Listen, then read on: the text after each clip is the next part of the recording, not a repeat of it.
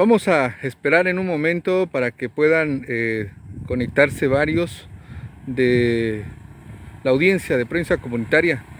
Solo queremos contarles que nos ubicamos exactamente aquí en el municipio del Estorizabal, eh, una de las salidas de la ruta a Río Dulce, en donde se encuentra la resistencia pacífica en contra de la acción que realiza el Ministerio de Energía y Minas MEM al no reconocer a las autoridades legítimas del Consejo de Autoridades Ancestrales y que deja fuera eh, la participación de las comunidades y sus eh, legítimas eh, o legítimos representantes.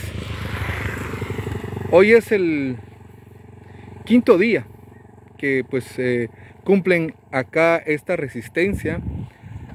Eh, las autoridades del Consejo Ancestral, juntamente con la gremial de pescadores, pues eh, continúan acá de día y, de noche en esta eh, resistencia pacífica, pacífica y que también han, vemos en las orillas de, las, de la carretera, pues han hecho o han creado también como eh, para poder protegerse de la lluvia.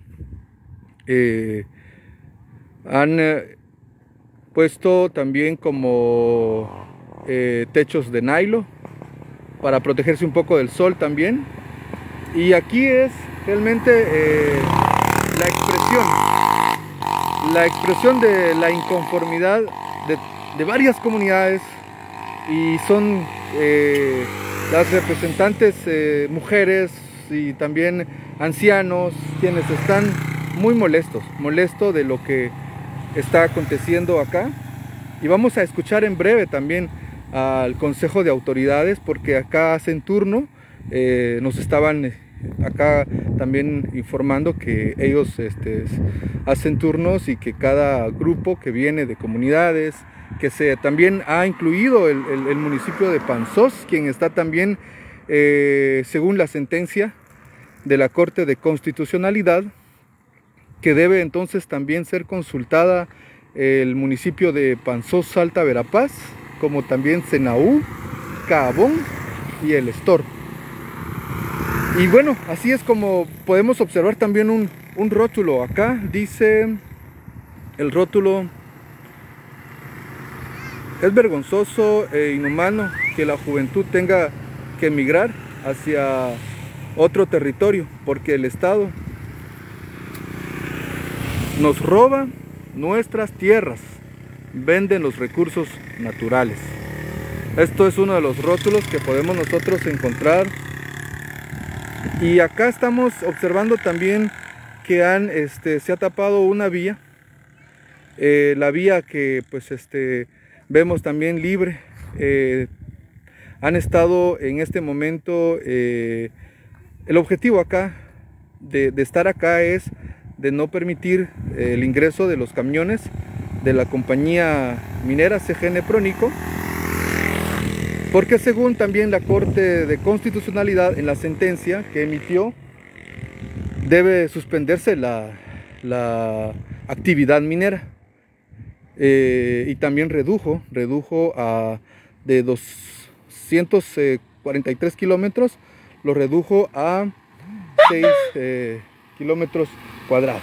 Observamos entonces cómo fluye acá entonces este el tránsito. Lo único que no permiten las autoridades en esta resistencia, en este lugar, que no ingresan o no permiten que ingrese, valga la redundancia, los camiones pesados eh, conocidos como góndolas eh, que transportan el material de tierra hacia eh, el puerto de Santo Tomás de Castilla, así es, y también no permiten que, por ejemplo, camiones de, de, cisternas de combustible que abastece también a la compañía eh, pues el ingreso. Pero todo fluye normal con mucha eh, vemos acá observamos.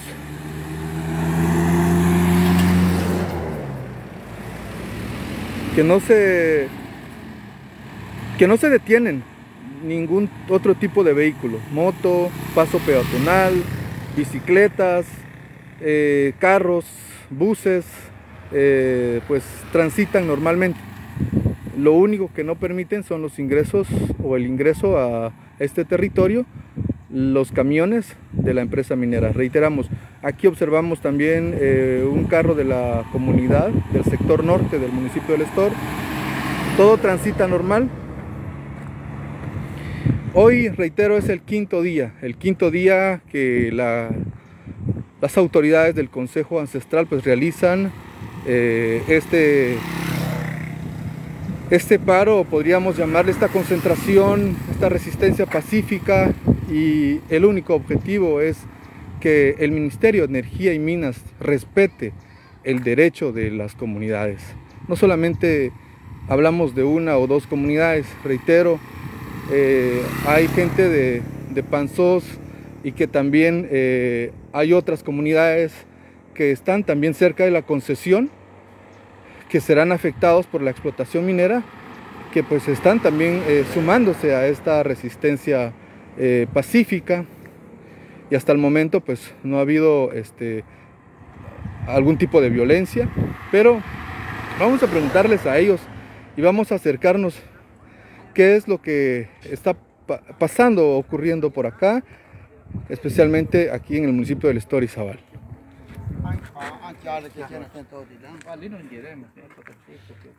Este, ¿Cómo está la, situación aquí en este momento? Y cuéntenos cuántos este, días llevan en este lugar. Pues ahorita, gracias a Dios, gracias por la entrevista. Eh, Ahorita pues ya llevamos eh, cinco días y noches. Aquí pues eh, todo tranquilo porque acá pues no se está dañando, eh, como, como le decimos en el principio, la, economía local. Aquí todo está transitando todo tranquilo, en normalidad.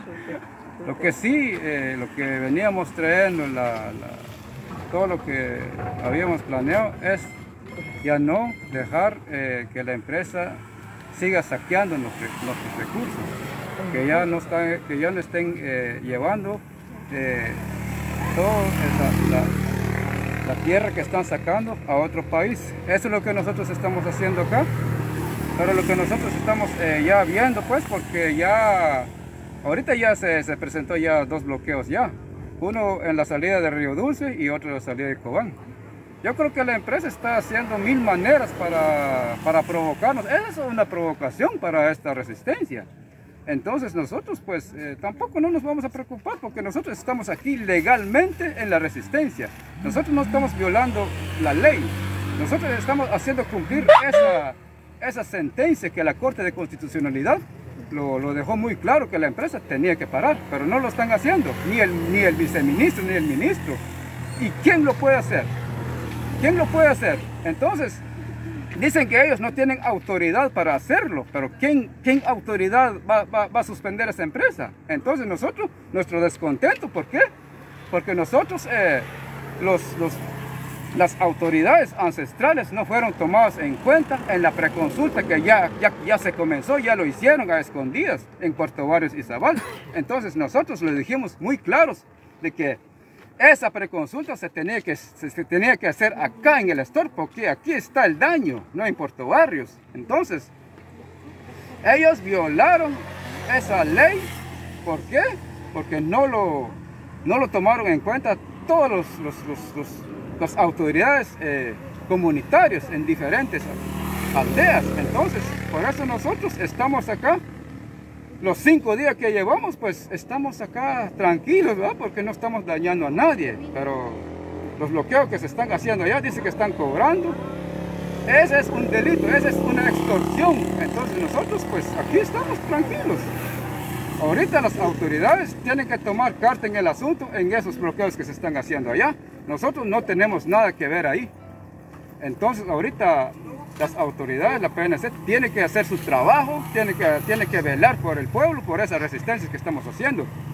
Porque, como le repito, aquí estamos legalmente, legítimamente los líderes, los, las autoridades ancestrales que nos acompañan en este momento de diferentes eh, comunidades. Eh, ¿Cuál ha sido, digamos, hasta este momento eh, la reacción de las autoridades acá en el municipio del Estor Izabal? Como por ejemplo, la Policía Nacional Civil se ha acercado a ustedes o alguien de la municipalidad del Estor se ha acercado a ustedes para escuchar cuáles son las inconformidades de ustedes. Pues lo único que se ha acercado aquí con nosotros es la PNC que, pasa, que, es lo que queremos, ¿va? cuál es nuestro descontento. Nosotros ya les dijimos claro de que ellos hicieron una violación a nuestros derechos de no tomarlos en cuenta en la preconsulta. Y ahorita, como le, dijimos eh, anteriormente, agotamos nuestros eh, recursos legales, no nos escucharon. Y ahorita pues aquí estamos haciendo cumplir, como le digo, la, la, la sentencia, ¿va? que las autoridades, que el ministro de Energía y Minas tenía que hacerlo, suspender la empresa, pero como no lo hacen, como les conviene, entonces por eso aquí estamos nosotros, legalmente. La municipalidad, ¿para qué decir? Nadie se ha acercado ni las autoridades locales, nada, porque realmente son ellos los que están firmando la destrucción del municipio de Estor y la contaminación del lago de Izabal. A ellos no les importa la contaminación, la destrucción del municipio de Estor. No, por eso nosotros estamos aquí eh, velando por nuestros recursos naturales. Cuando se habla de que no se está afectando a nadie, eh, esto también eh, incluye a los trabajadores mineros que trabajan en, la planta minera. Así es. Por eso nosotros no nos metimos a, a, bloquear a los trabajadores, porque si no, nos vamos a confrontar entre los quechíes, ¿va? Nos comenzamos a pelear. En cambio, no, ellos están libres, que trabajen, ¿va? Ahí. Pero lo, que, lo único que no estamos dejando entrar es las góndolas. Ni salir las góndolas, ni entrar las góndolas. Todas las, las cisternas locales de las gasolineras se está entrando. No estamos dañando, como les digo, la economía local ni nada. Estamos aquí haciendo cumplir nuestros derechos y no estamos cumpliendo, no estamos cayendo en delito. Ok, y en esta manifestación pacífica eh, ya pues este, vemos buen grupo de personas, eh, ¿cómo hacen para, la comida? Eh, ¿Qué es lo que están haciendo? Digamos, incluso vemos este, que tienen nylon en este, a orillas de la carretera. Pues nosotros estamos viendo ahí pues haciendo pues colaboración entre todos los que vienen de las comunidades. Entonces vemos ahí, aunque aguantando hambre, ¿va? pero aquí estamos en una resistencia eh, legítima, ¿va? porque lo tenemos que hacer así, sufriendo, porque lo que yo les quiero decir a aquellas personas que viven aquí en el pueblo o en otras comunidades que no se han sumado en la lucha, en esa resistencia, los invito de diferentes comunidades, de Panzós, de Cabón, de Senaú, porque ellos van a ser afectados por esa empresa minera también. Si ellos nos están escuchando en estos momentos, que se asumen esta lucha, que no tengan miedo, porque aquí no estamos eh, eh, robando, no estamos eh, cometiendo delitos, sino que aquí estamos haciendo valer nuestros derechos como pueblo quechí. Entonces, les vuelvo a repetir que, que, son bienvenidos en la lucha, que si alguien quiere apoyar, que, apoye también, porque también aquí es, es para el pueblo, no es para un grupo de pescadores, ni solo para, para un grupo de, de, comunidad, sino que eso es a nivel nacional. ¿Por qué? Porque esa es una empresa, eh, es bastante destructora, porque en ningún país lo, lo, lo, lo reciben, porque los rusos la mafia rusa ahorita quiere mandar, eh, quiere saquear nuestro municipio del Estor. Y eso nosotros sí no lo vamos a permitir. Hasta el momento ustedes están acá, eh, no han tenido eh, amenazas o intimidación durante la noche, durante el día. ¿Cómo ha transcurrido esta actividad que ustedes están haciendo en esta manifestación? Pues ahorita pues está, estamos aquí tranquilos, pues ¿para qué mentir? Porque aquí no han venido ni amenazas. Hay unos que, grupitos que se pusieron ahí a pelear, pero les dijimos de que ni son, ni son para ellos, ¿verdad? Porque ni son con ellos. Es en contra de la mina. Entonces eh, ellos pues eh, entendieron todo lo que estamos haciendo aquí como le digo, no estamos dañando a nadie. Entonces, eh, bueno, pero sí, estamos escuchando de que la empresa CGN dice que está buscando gente para sacarnos de aquí, ¿va? Entonces, a eso sí que son ellos. Si ellos quieren provocar, que lo piensen tres veces, porque nosotros, así como ellos están haciendo a las espaldas de nosotros, que lo piensen tres veces, porque nosotros no estamos eh, aquí ah, en la violencia, nosotros pacíficamente estamos aquí en la resistencia. Hay señalamientos en redes sociales de personas directamente eh, quienes forman parte de este grupo de Consejo de Autoridades Ancestrales. Eh, ante estas, eh, digamos, estos señalamientos, ¿cómo lo ven ustedes desde, desde redes sociales cuando señalan a una persona y que indican que es una persona que ha sido como que está fomentando la violencia. ¿Cuál es la respuesta de ustedes? Mira, pues esto es normal en esta, en esta resistencia porque cualquier persona puede decir, como ellos son trabajadores de la empresa, a veces son contratistas de, de otros municipios que lo pueden decir lo que pueden decir, porque acá las mismas autoridades están viendo qué es, cuál es la resistencia legítima que estamos haciendo, no estamos cometiendo en delito.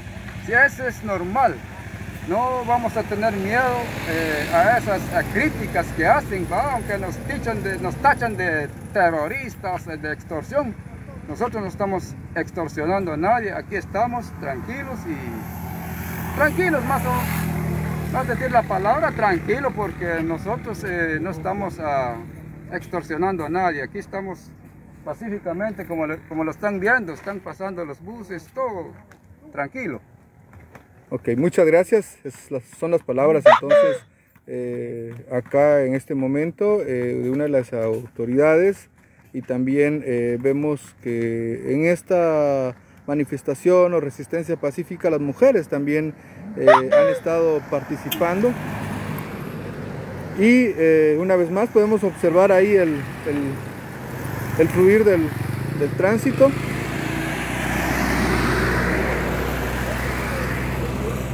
Todo pues está en este momento eh, transitando normalmente. Y según nos han comentado las, autoridades que esta manifestación pacífica, esta resistencia, eh, que ya pues vemos como un campamento en este lugar, eh, será permanente por la exclusión, reitero, lo que dicen ellos es que es por eh, lo que ha provocado el Ministerio de Energía y Minas. Nosotros vamos a estar informando desde el municipio del Estorizabal todo lo que acontezca.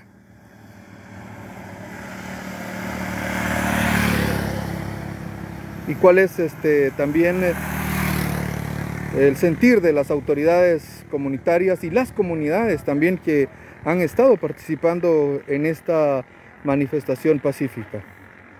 Vamos a retornar entonces, eh, vamos a cerrar esta transmisión